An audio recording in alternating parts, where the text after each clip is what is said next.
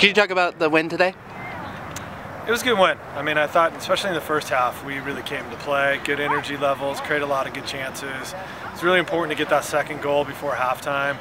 Um, second half, you know, they started to press us a little bit more, so our combination play, you know, wasn't as great, but we kind of absorbed their pressure and, you know, ended up winning the game. Can you talk about the two goals that were scored, what you saw on them?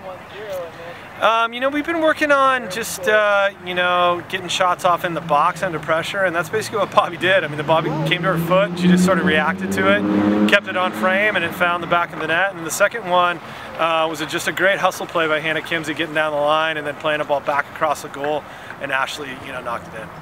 Could you talk a little bit about Southern's play today, second time you've seen them this season? Oh, they played with a lot of fight, especially in the second half. I mean, when your season's on the line, um, you could just tell they were trying with that extra effort and that extra um, you know mentality to try to get a goal.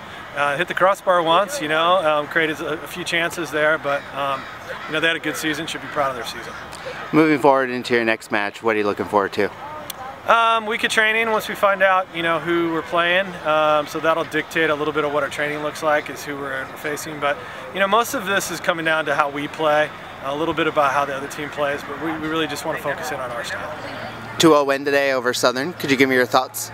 Um, it was it was a good battle. Um, it was a good game to play. Uh, our team came out really strong in the beginning, and that's where two goals came in really quick, and that's what uh, kept us going. In the second half, we just stayed strong, so it was good. Could you talk about those two goals you got in the first half? Um, well, the first one was just uh, passing around and just uh, Bobby being able to take that shot, being on her toes. And then the second one is just, um, we just kept pressing them and passing quickly, quickly. And then uh, Kimsey just making that pass and then Ashley and Ani just being there in the right place.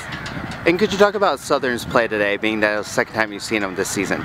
Um, it was more of a, a game actually, um, being on this turf, so we were, uh, both of us were actually able to play.